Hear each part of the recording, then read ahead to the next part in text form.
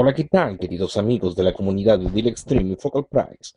En el día de hoy, a pedido de CodeV, he tomado el atrevimiento de invadir su canal para mostrarles este pequeño video unboxing. Quiero aclararles que las manos, eh, bueno, son las mismas, pero no interesa, es una larga historia que no puedo contarles en este video porque Code me pidió que fuese sintético. Les explico el motivo principal por el cual Code me ha pedido que yo hiciera el video. Básicamente le vergüenza el admitir que no tiene la más puta idea de qué se trata este paquete.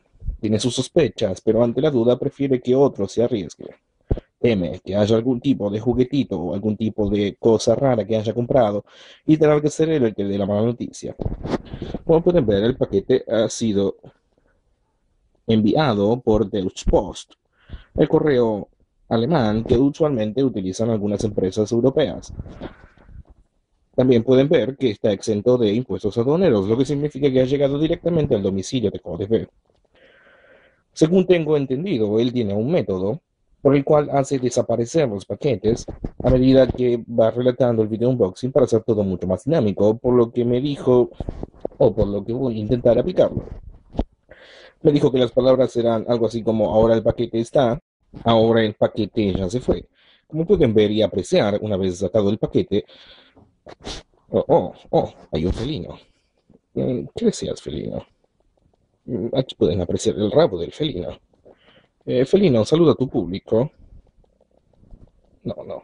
Bueno, como pueden apreciar, este paquete ha sido traído directamente desde Tree Deals, Deals, no, lo que sea.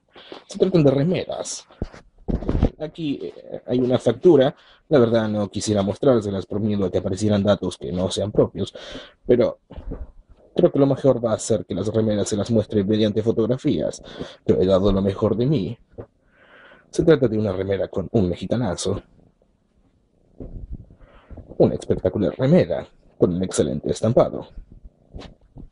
Otra remera con dos letras saludándose, lo que forma jocosamente la palabra JIT. Eh, algunos entenderán el doble sentido. Oh, el felino de vuelta. Se retira el felino. Y por último, una remera en la que se puede ver a un zombie solicitando a la gente que utilice su cerebro. Es muy gracioso.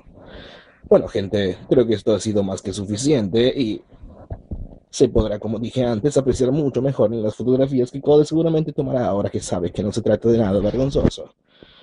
Espero que les haya gustado, tanto como a mí me gustó hacer este video. Si me permiten, me voy a retirar tomando un café colombiano en una delicada y fina y por sobre todas las cosas masculina taza. Es horrible. Hasta luego.